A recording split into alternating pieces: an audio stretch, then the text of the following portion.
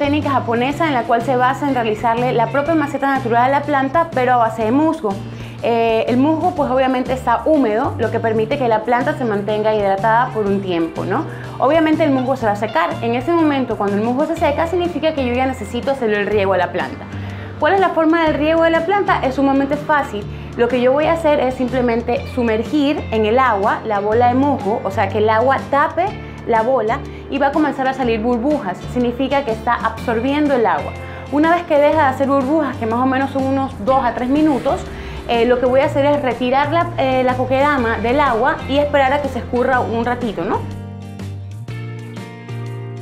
Las coquedamas son de interior, son de interior hasta semisombra, o sea, es para estar dentro de la casa.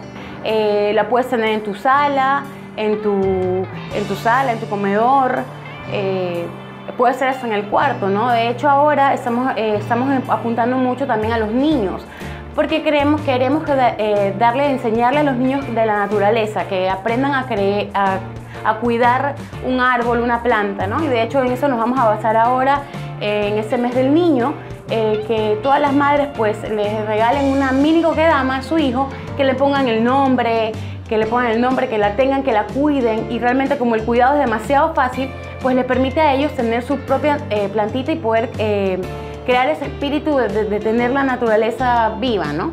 Las coquedamas pues son innovadoras eh, y además también pues que el cuidado es sumamente fácil, ¿no? Simplemente eh, se le hace una vez, a, una vez a la semana el riego y pues no me permite, como normalmente si yo tengo una planta en una maceta, yo tengo que hacerle el riego todos los días.